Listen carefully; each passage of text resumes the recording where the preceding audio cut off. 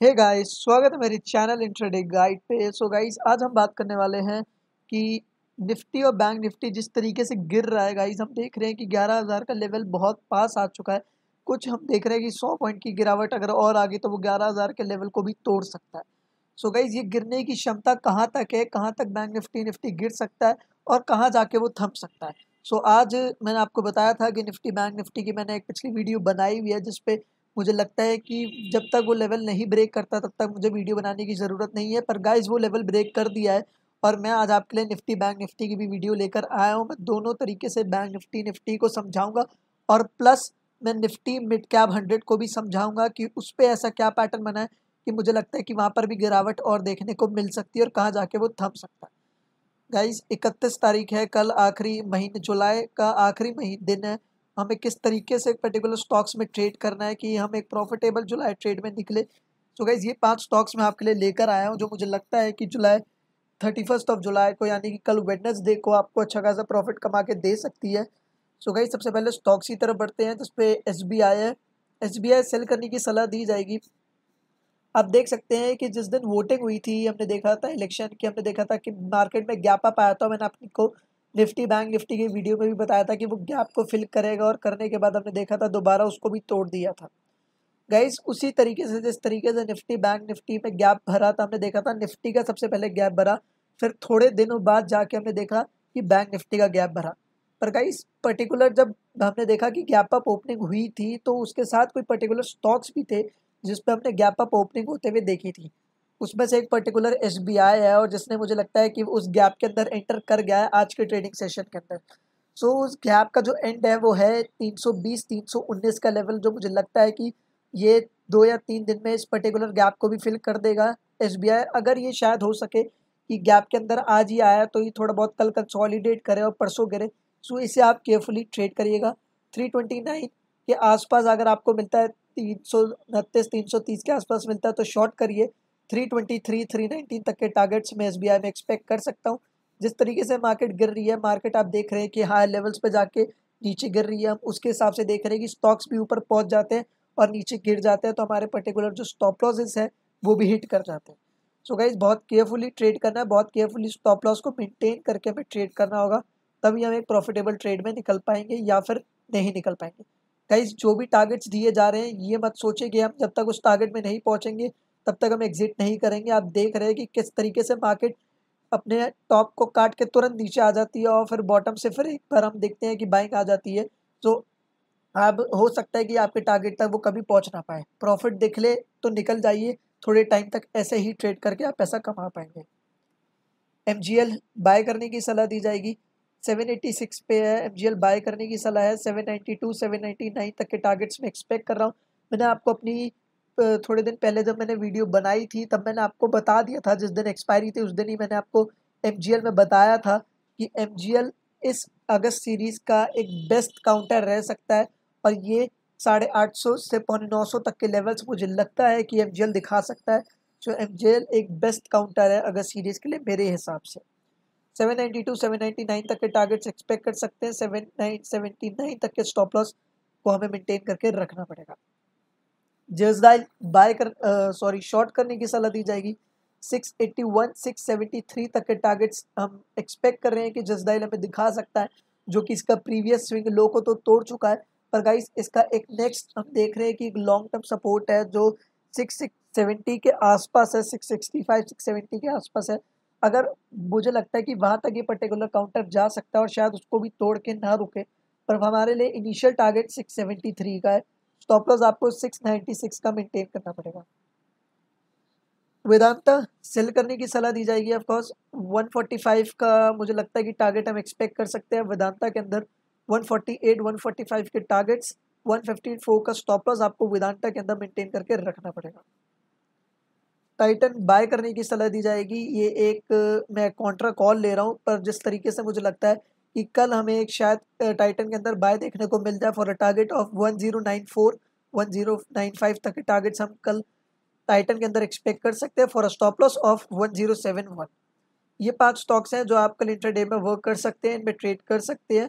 और guys Telegram channel पे आप मेरे साथ जुड़ सकते हैं। वहाँ पर भी मैं आपको इंटरडे कॉल्स या थोड़े बहुत जब मुझे मार्केट में लाइव कॉल्स प्रोवाइड होते हैं, जो भी हम अपने क्लाइंट्स को प्रोवाइड कराते हैं, उसमें से एक या दो कॉल आपको भी प्रोवाइड करा दिया करते हैं। आप जाके उसमें बेनिफिट उठा सकते हैं। सो so गाइज़ अब हम बढ़ते हैं बैंक निफ्टी और निफ्टी के चार्ट्स पे। आप वहाँ पर जाके देखेंगे कि किस तरीके से काम हो रहा है। निफ्टी और बैंक निफ्टी के चार्ट पे बढ़ते हैं। तो गाइज़ मैंने निफ्टी बैंक निफ्टी का चार्ट ओपन करके रखा हुआ है। सबसे पहले मैं आपको एक बात बताना चाहूँगा कि अब जो हम निफ्टी बैंक निफ्टी में काम करेंगे, जो मैं आपको अभी इस वीडियो में बताऊँगा, मैं आपको ट्रेंड लाइन्स बहुत सब कुछ बना के सिखा चुका हूँ। तो गाइज़ अब हम इस वीडियो में बात करेंगे कि शॉर्ट टर्म मीडियम टर्म और लॉन्ग टर्म ये तीन सपोर्ट कहाँ पर है और मुझे क्या, इन तीनों सपोर्ट में से कौन से कौन से सपोर्ट को निफ्टी बैंक निफ्टी तोड़ चुका है और कहाँ पर ये दूसरा सपोर्ट ले सकता है? और हम उस बारे में निफ्टी बैंक निफ्टी के बारे में आज बात करेंगे। सो so बढ़ते हैं। आप देख सकते हैं कि मैंने जो अपनी पिछली वीडियो बताई, बनाई थी, मैंने उस पर आपको बताया था कि यहाँ पर ये सपोर्ट ले रहा है।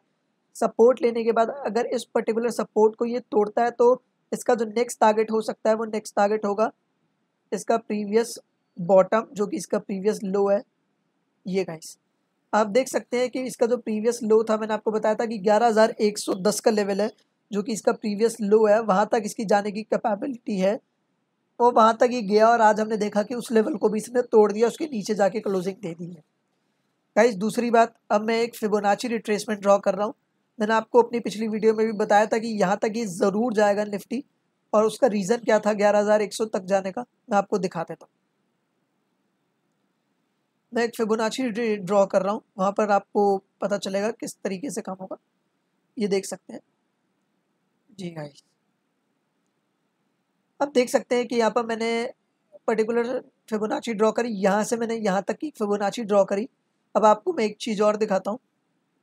कि मैंने आपको कौन से पैटर्न के बारे में बताया था, जो कि बन चुका है। अब वहाँ से एक शायद रिवर्सल आ सकता है और किस तरीके से वो पैटर्न बना मैं इसका कलर चेंज कर देता हूँ। जी निफ्टी यहाँ से हमने देखा है सडन इसकी यहाँ पर फॉल आई। हमने देखा है एक थोड़ा बहुत कंसोलिडेट करा। कंसोलिडेट कहाँ करा? जो ये गिरावट है, उसकी फिफ्टी परसेंट तक ही गया। निफ्टी हमने देखा। उसके बाद हमने देखा एक दोबारा गिरावट आ गई। ठीक है गाइस ये बनता है A B equals to C D pattern इसका मतलब ये है कि यहाँ से लेकर यहाँ तक की जितनी गिरावट आई है, उतनी ही गिरावट यहाँ से लेकर यहाँ तक की आई है। यानी कि एग्जैक्ट अमाउंट हमने देखा, जितना यहाँ पर फॉल आया, उतना यहीं पर फॉल आया। अब आपको मैं एक चीज़ दोबारा दिखाता हूँ। कैसे? कि कंफर्म करने के लिए जब मैंने यहाँ पर फिबोनाची रिट्रेसमेंट ड्रॉ करा तो मुझे पता चला कि जो मैंने लाइन बनाई थी, वो लाइन एग्जैक्ट फिबोनाची के लेवल से 161.8 परसेंट के रिट्रेसमेंट लेवल पे थी, और एग्जैक्ट वहीं पर इसका सपोर्ट था, हम देख सकते हैं प्रीवियस स्विंग लो का। आप देख सकते हैं जो प्रीवियस स्विंग लो का, और हम देख सकते हैं कि 161 परसेंट रिट्रेसमेंट लेवल का अमाउंट आसपास ही था। सो मुझे लगता था कि ये यहाँ पर जाके सपोर्ट ले लेगा, और हमारा A B equals to C D pattern complete हो जाएगा। दूसरी बात प्रीवियस स्विंग लो को नहीं तोड़ेगा, और ये हम मान सकते हैं कि निफ्टी अभी ये हायर हाई हायर लोस पे काम कर रहा है। पर जिस तरीके से हमने देखा कि इसने इसको भी सेटिस्फाई नहीं करा A B equals to C D pattern को, दूसरी बात, हमारे प्रीवियस स्विंग लो को भी सेटिस्फाई नहीं करा। और अब मैं आपको दिखाता हूँ जूम आउट करके, कि ये जो मैंने रेड लाइन बनाई हुई है, ये आप रेड लाइन देख सकते हैं। ये रेड लाइन है शॉर्ट टर्म ट्रेंड लाइन जो कि एक सपोर्ट का काम कर रही है। जैसे हमने देखा था, ग्यारह हज़ार चार सौ के आसपास इसे तोड़ दिया था। और वहाँ से जो इसकी गिरावट थी, वो गिरावट कहाँ थी? मीडियम टर्म ट्रेंड लाइन पे, जो कि ये ट्रेंड लाइन है। अब मुझे लगता है कि ये सारे जब सपोर्ट्स को तोड़ रहा है तो ये कहाँ तक जा सकता है? मीडियम टर्म ट्रेंड लाइन पे जा सकता है, जो कि ग्यारह हज़ार का लेवल है एग्जैक्ट गाइस अब काम हमें किस तरीके से करना है? मैं आपसे कह रहा हूँ कि गाइस हमने देखा A B equals to C D pattern fail हो गया। हम दूसरी बात देख रहे हैं कि जो एक स्विंग लो था प्रीवियस उसको भी ब्रेक कर दिया। इसका जो नेक्स्ट सपोर्ट बनता है, वो बनता है ग्यारह हज़ार का लेवल अब आप देख सकते हैं कि ग्यारह हज़ार का लेवल भी बहुत पास में है, कुछ अस्सी पॉइंट का डिफरेंस है. तो मुझे लगता है कि निफ्टी ग्यारह हज़ार का लेवल दिखा दे. पर अगर हम बात करते हैं बैंक निफ्टी की तो बैंक निफ्टी अभी अपने मीडियम टर्म सपोर्ट की ट्रेंड लाइन से बहुत दूर है 700 पॉइंट का डिफरेंस है. और मुझे लगता है कि वहाँ तक उसे जाने में टाइम लगेगा. और A B equals to C D pattern complete करने में भी उसे टाइम लगेगा। यानी कि 700 पॉइंट का उसे गैप गिरावट दिखानी पड़ेगी, तब जाके वो निफ्टी के बराबर पहुँच सकता है। पर गाइस अगर निफ्टी अस्सी पॉइंट गिरेगा तो बैंक निफ्टी सात सौ पॉइंट गिरेगा, हो सकता है। मुझे लगता है कि निफ्टी थोड़ा बहुत कंसोलिडेट करेगा और बैंक निफ्टी गिरना शुरू करेगा और आखिरी में जाके, वहीं जाके मीडियम टर्म ट्रेंड लाइन पे इन दोनों को सपोर्ट मिल सकता है। क्योंकि अगर हम बात करते हैं लॉन्ग टर्म ट्रेंड लाइन की सपोर्ट की तो वो सीधा दस हज़ार का लेवल दिखा रही है जो कि अनएक्सपेक्टेड है और मुझे नहीं लगता कि वो अभी हमें देखने को मिल सकता है। सो so गाइस मैं आपसे कह रहा हूँ कि मुझे लगता है कि ये पर्टिकुलर स्टॉक ग्यारह हज़ार के लेवल तक निफ्टी जा सकता है। आप देख सकते हैं कि यहाँ पर भी आपको बहुत सपोर्ट देखने को मिल जाएँगे। जी गाइस आप यहाँ पर भी देख सकते हैं कि कितनी बार यहाँ पर सपोर्ट लिया है तीस यहाँ पर भी सपोर्ट ले चुका है। सो so, मुझे लगता है कि निफ्टी ग्यारह हज़ार पर सपोर्ट ले लेगा। और वहाँ तक इसकी जाने की कैपेसिटी है और वहाँ से शायद इसमें एक बाउंस हमें देखने को मिले फॉर अ टारगेट ऑफ़ ग्यारह हज़ार पाँच सौ का।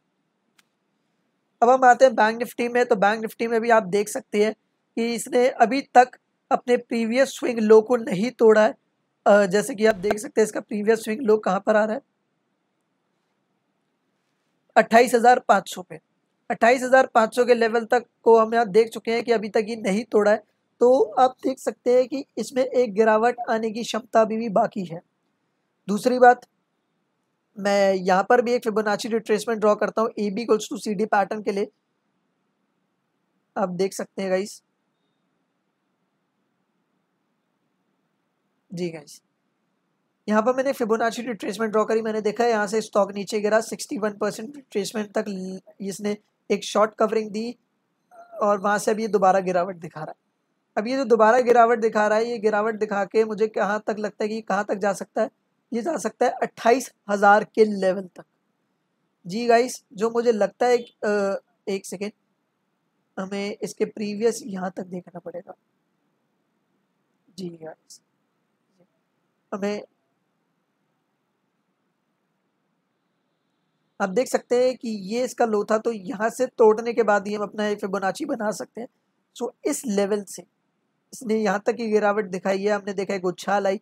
तो ये जो जितनी पॉइंट्स की गिरावट आई है, कितनी पॉइंट्स की गिरावट आई है, हम देखते हैं तीस हज़ार तीन सौ से लेके हम देख रहे हैं कि अट्ठाईस हज़ार हम देख रहे हैं उनतीस हज़ार तक की लेवल आई है। सोलह सौ पॉइंट तक का हम देख रहे हैं डिफरेंस आया है। सो अगर पर्टिकुलर ये यहाँ से गिरता है twenty nine thousand six hundred से जो हम एक्सपेक्ट कर रहे हैं, उसका जो टारगेट है वो है अट्ठाईस हज़ार का लेवल यानी कि कुल सोलह सौ पॉइंट की गिरावट हम यहाँ पर देख सकते हैं, जिसमें से उसने कहाँ तक की गिरावट दिखा दी है? हम जो एक्सपेक्ट कर रहे हैं वहाँ से वो कम से कम 1100 पॉइंट की गिरावट दिखा सकता है 900 पॉइंट की गिरावट दिखा चुका है।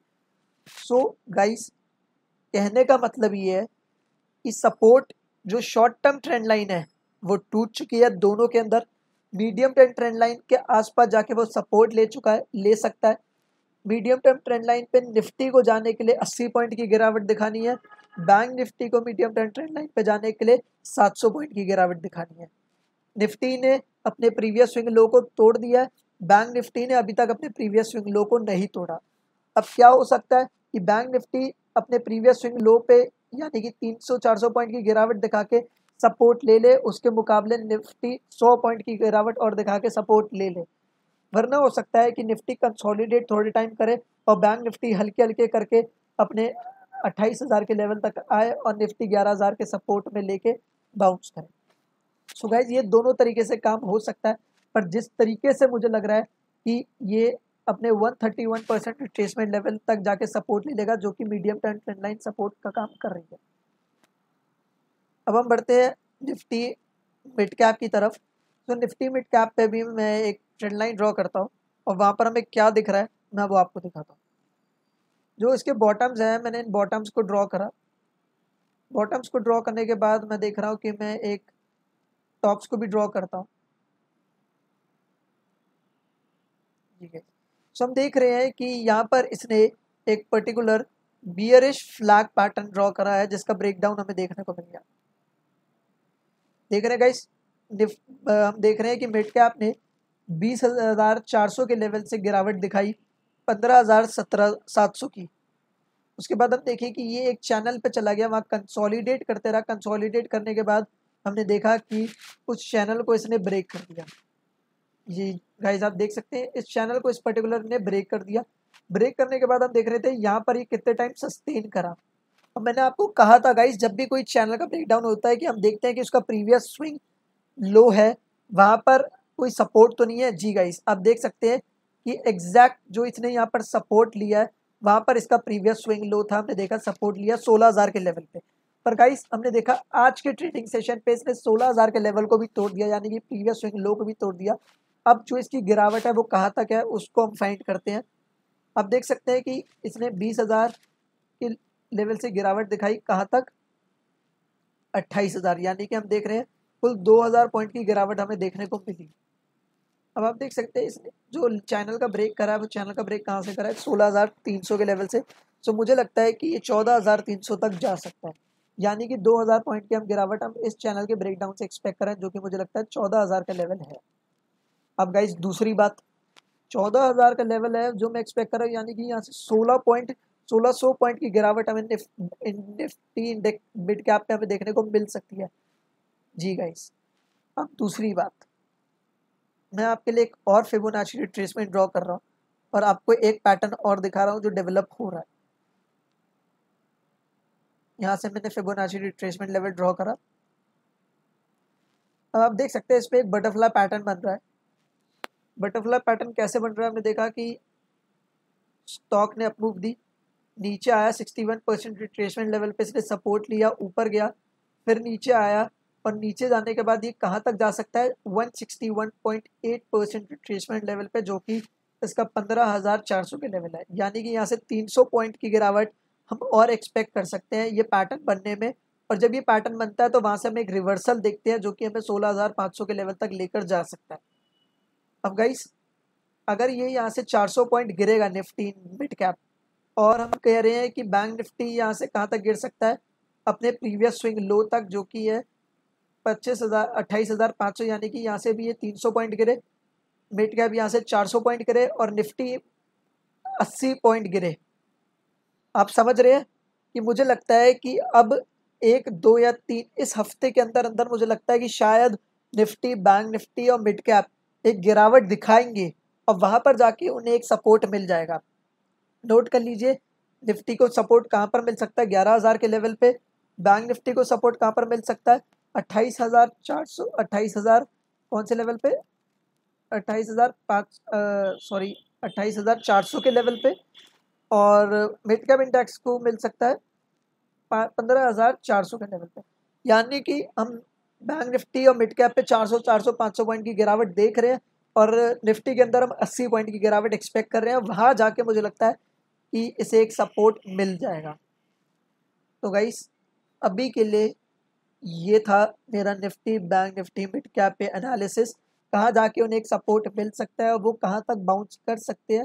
मैं नहीं कह रहा कि गिरावट थम गई है, क्योंकि अगर ये जो इंपॉर्टेंट लेवल्स हैं, मैं आपको बता रहा हूँ, अगर वो वीकली बेसिस के अंदर उसके नीचे तोड़ के क्लोज हो जाते हैं सो हम एक अच्छे खासे डीप डाउन गिरावट पे एंटर कर जाएँगे। डीप डाउन बियर फेस के अंदर हम एंटर कर जाएँगे।